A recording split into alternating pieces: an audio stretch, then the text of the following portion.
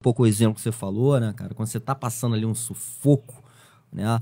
Você sente, é, é verdadeiro aquilo ali, né? É, você vai ali pro teu limite e você vai entendendo com o tempo que teu limite é maior. É, você vai entendendo com o tempo também a questão do respeito, né, do seu adversário ou não. Então, é, é, essa troca contínua que vai rolando, né? Essa evolução na jornada, ela vai te ensinando muita coisa que você vai usando para a vida, né, meu? Então, e a outra coisa eu acho que muito importante que você falou é que você passar por esses momentos difíceis, né? Obviamente, quando você está naquele momento é muito ruim, né? E muito difícil, mas a gente sempre sai com uma força maior, né?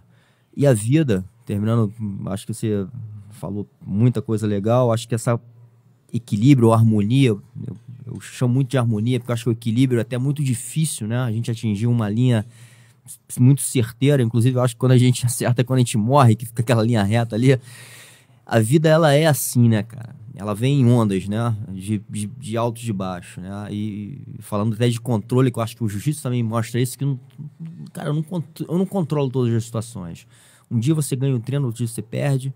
Um dia aquele cara que você ganhava muito, daqui a pouco já tá chegando perto, daqui a pouco o cara já tá te pegando. Então, assim, é, a gente não tem um controle das situações, né? E o que a gente pode mais trabalhar é esse nosso guerreiro interno, como você chamou aí também, né, cara? E essa é a nossa batalha interna, né? E talvez a nossa missão aqui na Terra da gente cada vez mais nos entender, aceitar um pouco nossas, nossas deficiências, trabalhar elas né? Mas tentar sempre evoluir no que a gente pode evoluir para frente e principalmente eu acho que você falou e, e, faz parte desse propósito desse projeto aqui que é tentar ajudar as pessoas de alguma forma, né, cara?